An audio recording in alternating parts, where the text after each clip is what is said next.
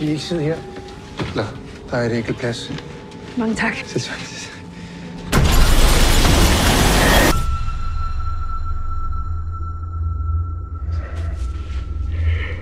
Det er bare fordi, at jeg savner en.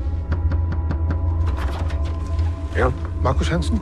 Mit navn er Otto Hoffmann, og det er Lennart. Jeg var med samme tog som din kone og datter. Hvad ved I? Jeg synes, du har krav på at vide, at det ikke var en ulykke. Hvorfor siger du, at det ikke var en ulykke? Ham her. Men han skyndte sig af på den station sekunder inden ulykken indtraf. Til Kurt Tandem Olesen, der er præsident for rockergruppen Riders of Justice. Det var et attentat.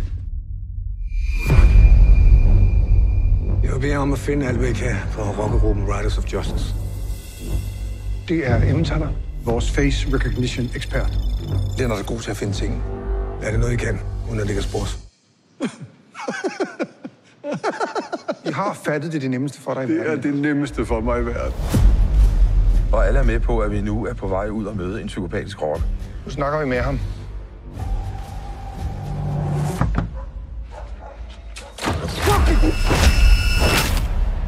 Har du slået nogen ihjel før? Det, så- i hvert fald ud som om, at Vi har ikke talt om at slå folk ihjel, Lennart. det er rocker. Det er jo ikke, fordi vi skal bombe en vuggestue. Vi er med. Starter med at placere buffer i fjeder. Ja, jeg, jeg, jeg kan bare godt lide os. Så er der ikke færdig anden klassen.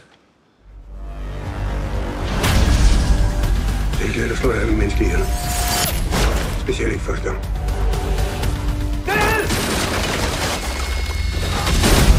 De ved, hvem I er, og det ikke til at stoppe, medmindre vi dræber den først. Hvad det sker for?